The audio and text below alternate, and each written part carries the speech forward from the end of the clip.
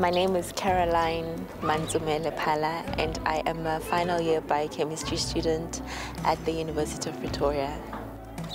What attracts me about science is just it's it's never ending wonders, you know? I feel for me it explains what God created, you know? It actually explores that level on a scientific level.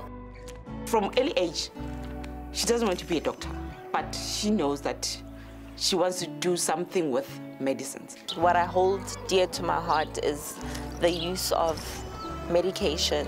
A lot of the times people just pop a pill for any other complication without knowing the implications and the effects of that. I wanted to make sure that I go into that and actually study it so that I can come back and actually educate the people that don't know about that. And then out of the blue, she wants, she wants to do biochemistry. And it was my first time hearing that. The minute I came across the name biochemistry, to me, it just made a, a whole lot of sense to, because it was a combination of biology and chemistry, which is what I love. I found out about the Moshal Scholarship Program in 2014. Yeah, I think Moshal was lifesaver to me.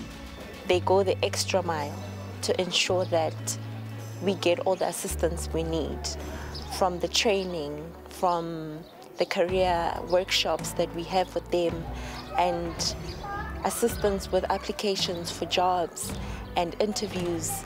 They're really there to hold our hands and walk with us, not just there as the title of a coordinator, but really walking the journey with us and be like, hey, let's walk with you. What do you need? Let's help you. Let's help you get there and get there well.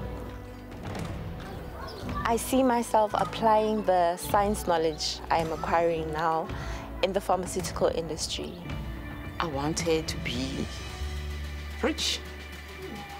Yeah, having a family, having a big house, you know, having that good life, man. For me, the future is very exciting when I look at it because I see independence, I see excellence, I see success, you know, I see, I see growth, you know, being the woman that I've always wanted to be.